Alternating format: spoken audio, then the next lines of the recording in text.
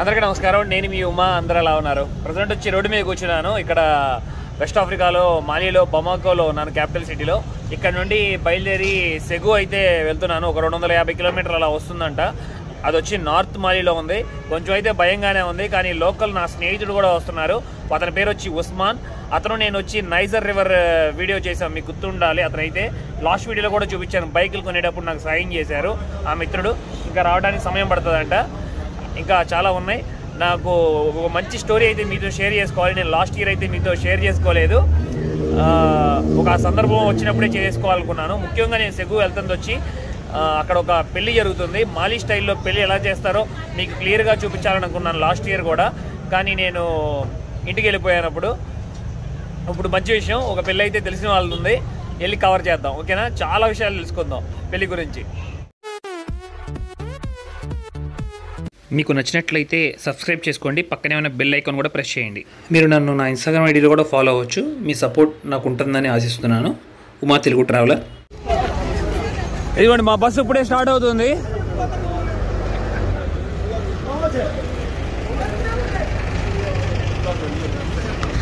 సిటీకి అయితే ఒక పది కిలోమీటర్లు అయితే బయటికి వచ్చాం కానీ బాధాకరమైన విషయం ఏమిటంటే ఇక్కడ చూస్తున్నారు కదా టైర్ వచ్చి పంచర్ అయ్యింది. గాలి పోతుంది మొత్తం బయటికి. ఇక ఇది ఒక బట్టిది ఒక అరగంట గంట. ఇప్పుడే పైనాపిల్ జ్యూస్ తాగాను. ఎక్కువ తింటున్నాను. స్నాక్స్.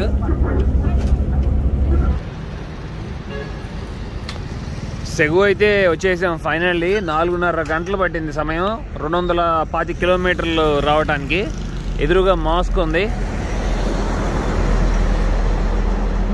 ఇదంతా సెగు. ఇక్కడ ట్రాన్స్పోర్ట్కి వచ్చి ఇబ్బంది పడకూడదని చెప్పి సిటీ నుండే బైక్ కూడా తీసుకొచ్చేసాం. బస్ లోపల పెట్టాం. ఒక ఆరు వందల యాభై రూపాయలు అలా ఛార్జ్ చేశారు. దానికి బస్కి మాకేమో నాలుగు వందల రూపాయలు ఛార్జ్ చేశారు టికెట్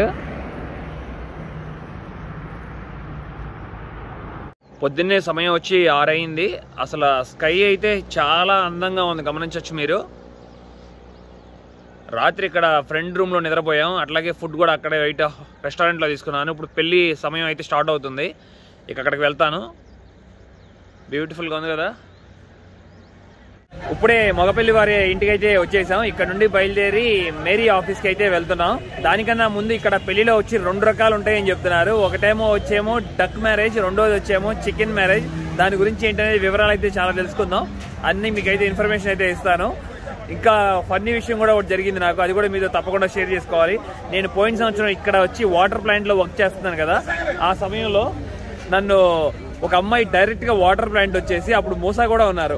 అమ్మాయి చాలా బ్యూటిఫుల్ అమ్మాయి. మా నాన్నగారు పిలుస్తున్నారంటే నాకు భయం వేసింది. ఎందుకు పిలుస్తున్నారు వాళ్ళ నాన్నగారు అని చెప్పి. నేను మూసా వెళ్ళాం. వాళ్ళ నాన్నగారి ఇంటి దగ్గరికి వెళ్ళి కూర్చుంటే అక్కడ పెద్దవాళ్ళందరూ కూర్చున్నారు. కూర్చొని మా అమ్మాయి మిమ్మల్ని ఇష్టపడుతుంది. మా అమ్మాయిని మీరు పెళ్ళి చేసుకుంటారా లేదా అని అడుగుతున్నారు అట్లాగా. వాళ్ళు ఏం చెప్పాలో అర్థం కాల. చాలా ఇబ్బంది పడ్డాను నేనైతే మటుకి.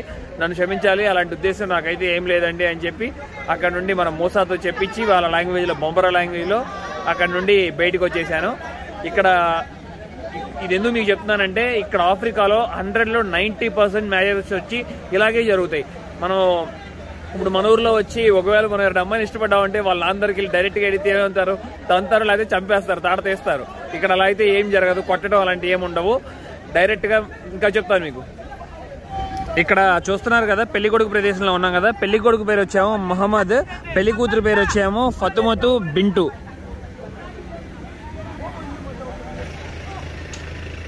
ఇప్పుడైతే అక్కడ పెళ్ళి కొడుకు ఒక ఇంట్లో ఉన్నారు కదా అక్కడ నుండి బయలుదేరి వచ్చి ఇప్పుడు పెళ్ళి కూతురు ఇంటికి అయితే వచ్చాం మేము. ఇక్కడ నుండి బయలుదేరి మేరీ ఆఫీస్కి అయితే వెళ్తాం మేము. మేరీ ఆఫీస్ అంటే మనం కూడా ఇండియాలో పెళ్ళి అయిపోయిన తర్వాత రిజిస్టర్ చేయించుకుంటారు కదా. కానీ ఇక్కడైతే పెళ్ళి కాకముందు కూడా రిజిస్టర్ చేయించుకుంటారు పెళ్ళి తర్వాత కూడా రిజిస్టర్ చేయించుకుంటారు. ఆ రిజిస్టర్ ఆఫీస్ దగ్గరికి వెళ్ళి మనం వీళ్ళు రింగులు మార్చుకుంటారు. అట్లాగే ఇంకా కొన్ని విషయాలు కూడా ఉన్నాయి లోపల. పెళ్ళి కూతురింటి లోపలికి అయితే వెళ్దాం అప్పుడు.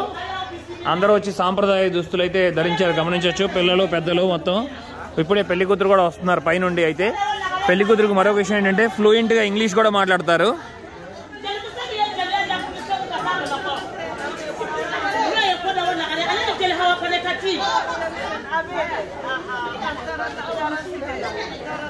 lagare bi ye jeliya kunu.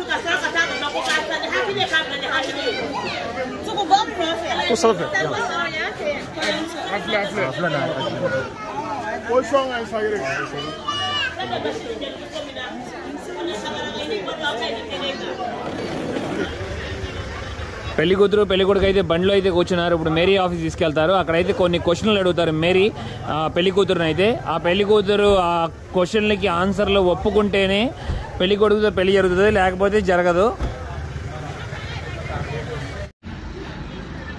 మాలీలో మ్యారేజెస్ ఎలా జరుపుకుంటారనేది తెలుసుకుందాం. మనం ఇప్పుడు రెండు విషయాల గురించి చెప్పాను కదా duck marriage and chicken marriage అని చెప్పి. మనం ఇప్పుడు డక్ మ్యారేజ్ గురించి మొదట తెలుసుకుందాం. కొన్ని వందల సంవత్సరాల క్రితం నుండి సేమ్ మన భారతదేశంలో ఎలా ఉంటుందో ఒకప్పుడు పిల్లలకి పెద్దవాళ్ళే చూసేవారు కదా ఇప్పటికి కూడా మనం ఆ ట్రెడిషనే మెయింటైన్ చేస్తున్నాం. మన పెద్దవాళ్ళే నిర్ణయిస్తారు మనకి పెళ్ళి పెళ్ళి చేసుకునేప్పుడు అమ్మాయి అయినా సరే అబ్బాయి అయినా సరే ఇప్పుడిప్పుడే కొంచెం జనరేషన్ మారిగి మోడర్న్ లైఫ్లో చాలామంది లవ్ మ్యారేజెస్ చేసుకుంటున్నారు కానీ సేమ్ అది కూడా ఇక్కడ కూడా వర్తిస్తుంది. ఇక్కడ మాలీలో అందుకనే వచ్చి వీళ్ళు డక్ మ్యారేజ్ అని పిలుస్తారు. ఎందుకంటే డక్ ఎప్పుడు వచ్చి ముందు వెళ్తుంది. తర్వాతే పిల్లలు వెనక ఫాలో అవుతాయి. కానీ చికెన్ అలా కాదు కదా. సరే చికెన్ తర్వాత మాట్లాడుకుందాం. ఫస్ట్ డక్ గురించి మాట్లాడుకుందాం. అందుకనే డక్ నిర్ణయి దాంతో పోలుస్తున్నారు ఇక్కడ మ్యారేజెస్ని కూడా వచ్చి డక్తో వచ్చి. అట్లాగే ఇక్కడ కూడా పెద్దవాళ్ళు వాళ్ళ పిల్లలకి ఎవరు మంచివారు చెడు ఏంటని చెప్పి మొత్తం నిర్ణయిస్తారు మరొక విషయం ఏంటంటే పెళ్ళి అయ్యే వరకు అసలు అమ్మాయి అబ్బాయి కలవటానికి అయితే లేదు. జస్ట్ మాట్లాడుకోవచ్చు. ఫొటోస్ అయితే చూసుకోవచ్చు. ఇక పెద్దవాళ్ళు నిర్ణయించుకున్న తర్వాత ఇక ఒకరు ఒకరు ఊర్లో ఎంక్వైరీ కూడా చేసుకున్న తర్వాత కట్నాలు అన్నీ మాట్లాడుకున్న తర్వాత మంచి అనుకుంటే తప్పకుండా ఇక అబ్బాయికి ఇచ్చి చేసుకుంటారు. ఇక నెక్స్ట్ వచ్చి మన చికెన్ మ్యారేజ్ గురించి చెప్పుకుందాం. ఇదైతే మట్టికి చాలా చాలా ఇంట్రెస్టింగ్గా ఉంటుంది ఈ స్టోరీ అయితే. మొదట ఇక్కడ ఈ ఆఫ్రికా కాంటినెంట్లో తొంభై శాతం లవ్ మ్యారేజెస్ అని చెప్పుకున్నాం కదా. ఇక్కడ ఎవరైనా నాకు నచ్చితే ఒక అమ్మాయి నేను ఇక్కడ ఒక జిలి అని చెప్పి ఉంటారు లోకల్ పీపుల్. వాళ్ళని నేను సంప్రదించి ఇప్పుడు మనకి మీడియేటర్స్ ఉంటారు కదా ఇండియాలో సేమ్ అలాగే ఇక్కడ కూడా. నేను అతనికి వెళ్ళి చెప్పి నాకు ఫలానా ఒక అమ్మాయి నచ్చింది ఆ అమ్మాయి నేను పెళ్ళి చేసుకోవాలనుకుంటున్నాను అని చెప్తే అలాగే ఆ అమ్మాయి అతనికి చెప్పడంతో పాటు నేను అతనికైతే మూడు కోలా ఫ్రూట్ ఇవ్వాలి. చాలా చాలా ఇంపార్టెంట్ అది ఆ ఫ్రూట్ ఇక్కడైతే మట్టికి. వీళ్ళ ట్రెడిషన్స్లో చాలా ప్రత్యేకత ఉంది దానికైతే ఆ కోలా ఫ్రూట్కి మీకు. ఆ మూడు కోలా ఫ్రూట్ ఇచ్చి ఆ జిలి అనే పర్సన్కి వాళ్ళ ఇంటికి పంపిస్తాను నేను. పంపించినప్పుడు అతను వెళ్ళి మాట్లాడతారు. పలానా ఒక అబ్బాయి మీ అమ్మాయిని ప్రేమిస్తున్నారంటే అప్పుడు అతను ఏం చెప్తారంటే మొదట ఏంటి అడుగుతారంటే కులం అడుగుతారంట. అతను క్రిస్టియనా ముస్లిమా ఇంకా ఇక్కడ మొత్తం మూడు రిలీజియన్స్ ఉన్నాయి. మీకు ఎప్పుడు చెప్పలేదు. క్రిస్టియన్ ఉంది రిలీజియన్ ముస్లిం ఉంది అట్లాగే వచ్చి ఏ రిలీజియన్ కాదు. నో రిలీజియన్ కూడా ఉన్నారు పీపుల్ ఇక్కడ. అలా అడగగా క్వశ్చన్గా సేమ్ మతం అయితే అప్పుడు ఫస్ట్ ఇక నెక్స్ట్ స్టెప్ తీసుకుంటారు. ఇంకా అది మన గురించి మొత్తం వివరంగా ఎక్స్ప్లెయిన్ చేయగా అప్పుడు అతను తండ్రి ఫస్ట్ ఆ పిల్లని అడుగుతారంట. ఇలా పలానా సంబంధం వచ్చింది ఒక అబ్బాయి నిన్నైతే ఇష్టపడుతున్నారు నీకు ఇష్టమైన ఈ అబ్బాయిని చేసుకోవటం అని చెప్పి. ఒకవేళ ఆ అమ్మాయి కూడా ఓకే అంటే నాకు అక్కడ అబ్బాయి దగ్గర ఉన్నాయి కదా మూడు కోలాలు. ఆ మూడు కోలాలు వచ్చి తీసుకుంటారంట రిసీవ్ చేసుకుంటారు. ఒకవేళ నచ్చలేదు అంటే ఆ మూడు కోలాలు మళ్ళీ రెస్పెక్ట్ కోసం తీసుకుని మళ్ళీ ఎమ్మటే రిటర్న్ ఇచ్చేస్తారు ఆ పర్సన్కి ఆ మీడియేటర్ పర్సన్కి అలా ఒకవేళ నచ్చి ఆ కోలాలు తీసుకుంటే మళ్ళీ రెండు వారాలు గడువు తీసుకుంటారు ఆ పెద్ద ఆయన. మళ్ళీ మొత్తం పెద్దవాళ్ళంతా కలిసి కూర్చొని ఒకసారి మాట్లాడుకుందాం ఏంటి అని చెప్పి అని చెప్పి. ఆ తర్వాత రెండు వారాలకు పది రోజులకు మళ్ళీ కలిసినప్పుడు అప్పుడు వచ్చి పది కోలాలు తీసుకెళ్తారు. అలాగే డేట్ నిర్ణయించుకున్నప్పుడు రెండవసారి తప్పకుండా అప్పుడు వచ్చి పది కోలాలు తీసుకెళ్తారు. నేను చెప్పిన ఫ్రూట్ కూడా మీకు చూపిస్తాను స్క్రీన్ మీద ఎలా ఉంటుంది అని చెప్పి. నేను విన్నాను అది ఎంత నిజమనే తెలియదు ఈ కోలాస్ని తీసుకునే కోకా కోలా తయారు చేస్తారంట. మీకు ఎవరైనా తెలిస్తే చెప్పండి అది కూడా కామెంట్ చేయండి తప్పకుండా. మళ్ళీ ఇక్కడ రెండు విషయాలు అయితే చాలా బాగా ఎక్కువగా నమ్ముతారు. ఎందుకంటే మొదటి వైఫ్ ఒకవేళ మంచి వైఫ్ వస్తే జీవితంలో చాలా సాధిస్తావు నువ్వు అన్నీ నీకు గుడ్ లక్గా జరుగుతాయి అని కూడా నమ్ముతారు. ఒకవేళ నీకు బ్యాడ్ వైఫ్ వస్తే మట్టికి నీ జీవితంలోకి మొత్తం నరకంగా ఉంటుందని కూడా నమ్ముతారు ఇలాంటి విషయాలు కూడా. మరొక ముఖ్యమైన విషయం ఏంటంటే ఆఫ్రికాలో వచ్చి అమ్మాయికి అయితే చాలా రెస్పెక్ట్ ఇస్తారు అసలు. నేను ఇప్పుడు మనం చాలా దేశాల్లో మనం రేప్స్ ఇలాంటివన్నీ వింటాం కదా అసలు అలాంటి ఒకటి కూడా వినం ఇక్కడైతే మనం. సేమ్ ఇక్కడ కూడా అంతే ఇలా డిస్కషన్ చేసుకున్నప్పుడు ఆ పది కులాలు ఒకవేళ నచ్చకపోతే మళ్ళీ రెస్పెక్ట్ కోసం తీసుకొని ఎమ్మటే అమ్మాయి వాళ్ళ నాన్నగారు అయితే మళ్ళీ రిటర్న్ ఇచ్చేస్తారు ఎమ్మటే స్పాట్లోనే మళ్ళీ పది రోజులు గ్యాప్ తీసుకుని ఇక షాపింగ్ అయితే వెళ్తారు. అమ్మాయికి కావాల్సిన దుస్తులు అట్లాగే జ్యువెలరీ కొనడానికి దాంట్లో ముఖ్యమైన పాత్ర అయితే అబ్బాయి వాళ్ళ పెళ్ళికొడుకు వాళ్ళ సిస్టర్ అయితే పాల్గొంటారంట తప్పకుండా. ఎప్పుడు? ఆవిడ పక్క నుండి ఆవిడకి సాయంగా ఉంటారంట అమ్మాయికి. రిజిస్టర్ మ్యారేజ్ దగ్గర అమ్మాయి దగ్గర అబ్బాయి దగ్గర సైన్ తీసుకునేటప్పుడు ఒక ముఖ్యమైన క్వశ్చన్ అడుగుతారని చెప్పాను కదా అమ్మాయిని అదే ఇది ఈ అబ్బాయి వచ్చి ఇంకా మూడు పెళ్ళిళ్ళు చేసుకుంటారు అది నీకు సమ్మతమేనా అని చెప్పి అమ్మాయిని అడిగారు "ఆ, నాకు సమ్మతమే అని చెప్పి ఆవిడైతే ఒప్పుకున్నారు కూడా సైన్ చేస్తారు ఇప్పుడు ఆవిడ అట్లాగే ఇతను కూడా సైన్ చేస్తున్నారు ఇతను మొత్తం ఇంకా మూడు పెళ్ళిళ్ళు చేసుకుంటారు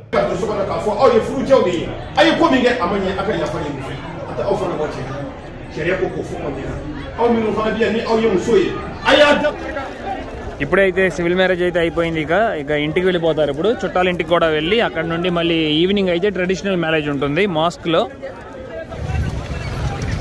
ఇవాళ వచ్చి ఇంకా నాలుగైదు పెళ్ళిళ్ళు జరుగుతున్నాయి. వాళ్ళు కూడా వచ్చారు మొత్తం మేరీ ఆఫీస్కి అయితే. ఇక్కడ కేవలం ఓన్లీ గురువారం వచ్చి అలాగే వచ్చి ఆదివారం ఒక ఈ రెండు రోజుల్లోనే పెళ్ళిళ్ళు చేసుకుంటారంట. ఇప్పుడే అయితే మెరీ ఆఫీస్ నుండి ఇంటికైతే వచ్చేసాం.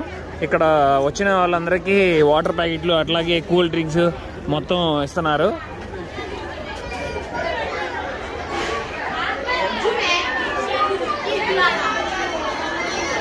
ఏ మంచి ఆనందంగా ఉన్నారు అందరూ. పండగ చేసుకుంటున్నారు.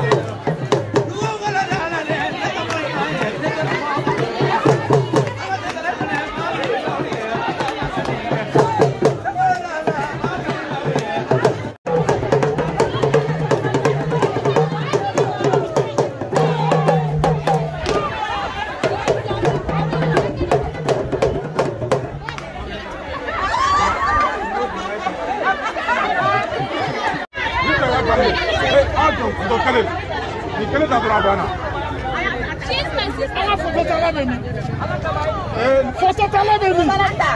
a banna. ఇక్కడే పెళ్ళిలో అయితే నేను ఒక స్నేహితురాలని కలిశాను. చాలా సంతోషం అనిపించింది. ఎందుకంటే ఆవిడ వచ్చి బెంగళూరులో చదువుకున్నారంట. అసలు రియల్లీ షాక్ అయ్యాను. ఎందుకంటే నేను ఇప్పటిదాకా అదర్ కంట్రీస్ వాళ్ళందరినీ నేను మీట్ అయ్యాను కానీ ఇండియాలో. ఎప్పుడు మాలియన్ అయితే మీట్ అవ్వలేదు. ఇండియాలో చదువుకున్నట్టు ఐదు సంవత్సరాలు బెంగళూరులో చదువుకున్నారంట అదే చెప్తున్నారు. నాకు మంచి ఫ్యామిలీస్ ఉన్నాయి అక్కడ. ఆల్ రిలీజియన్స్లో నన్ను చాలా బాగా ట్రీట్ చేశారు. ముఖ్యంగా నాకు తమిళనాడు అంటే చాలా ఇష్టం. నన్ను చాలా బాగా పలకరించారు తమిళనాడు వాళ్ళు అయితే అని చెప్తున్నారు. చాలా హ్యాపీ ఫీల్ అయ్యాను. ఆవిడ మాటల్లో వింటే okay okay okay okay okay thank you ఇప్పుడు పెళ్ళి కూతురు వాళ్ళ ఇంటి దగ్గర నుండి పెళ్ళి కొడుకు వాళ్ళ ఫ్యామిలీ వాళ్ళ ఇంటికి వెళ్తున్నాం. కానీ పెళ్ళి కొడుకు వాళ్ళ ఇల్లు వచ్చి బొమ్మకోలో కదా. కానీ వాళ్ళ చుట్టాలు ఉన్నారంటే ఇక్కడ. ఇప్పుడు వాళ్ళ ఇంటికి వెళ్తున్నాం. పెళ్ళి కొడుకు వాళ్ళ అన్నయ్య వాళ్ళ ఇంటికి వచ్చాం ఇక్కడికి. ఇక్కడ కూడా వీళ్ళందరినీ పలకరించి మళ్ళీ ఇక్కడ నుండి మళ్ళీ నెక్స్ట్ ప్లేస్కి అయితే వెళ్తాం.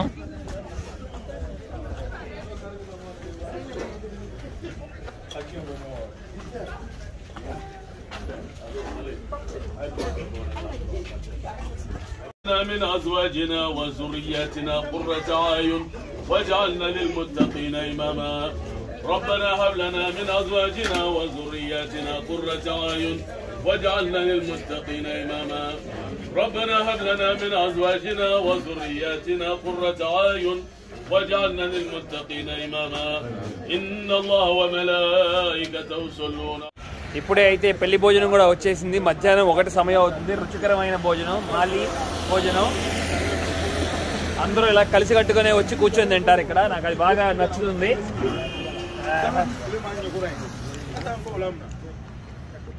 చూస్తున్నారు కదా రైస్ అట్లాగే మటన్ క్యాబేజీ. చాలా టేస్టీగా ఉంటుంది. సూపర్. రైస్ అయితే చాలా సాఫ్ట్గా ఉంది. గుడ్. అక్కాయ్. అక్కాయ్.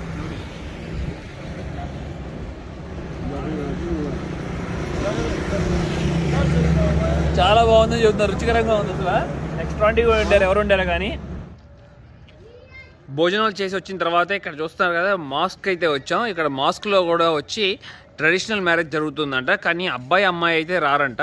పెద్దవాళ్ళు వచ్చి ఇక్కడ వచ్చి మాట్లాడుకుంటారని చెప్తున్నారు. ఇక ఆ తర్వాత మళ్ళీ ఇంటికి వెళ్ళిపోతాం.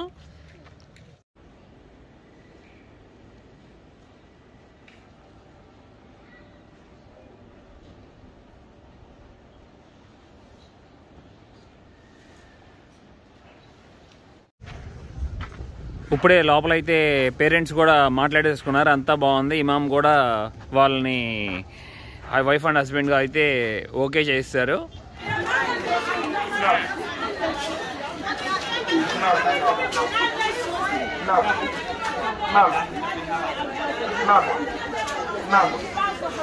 పెళ్ళైతే పూర్తిగా అయిపోయింది. ఇక్కడ ఒక స్థలం మీకు అయితే చూపించాను కదా మగవాళ్ళకి కోసం తీసుకున్నది వచ్చి ఇక్కడ లోపలైతే రూమ్స్ ఉన్నాయి. ఈ రూమ్లో వచ్చి అబ్బాయి అమ్మాయి వచ్చి మూడు రోజులు ఉంటారంట. బయటికి అసలు రారంట. ఇక ఆ తర్వాత నుండి మళ్ళీ నార్మల్ లైఫ్ లీడ్ చేస్తారంట. ఒకరిని ఒకళ్ళు అర్థం చేసుకోవడానికి నేను చెప్తున్నారు. నైస్ ఇక మనం ఇక్కడ నుండి బయలుదేరి బొమ్మకే వెళ్దాం. రెండు వందల పది కిలోమీటర్లు వెళ్ళాలి. ఆ బస్సులో కూర్చుని కూర్చుని నడువులేపు కూడా వస్తుంది. వీడియో చూశారు కదా మీకు నచ్చిందని ఆశిస్తున్నాను. నచ్చితే లైక్ చేయండి తప్పకుండా షేర్ చేయండి సబ్స్క్రైబ్ చేసుకోండి. Thank you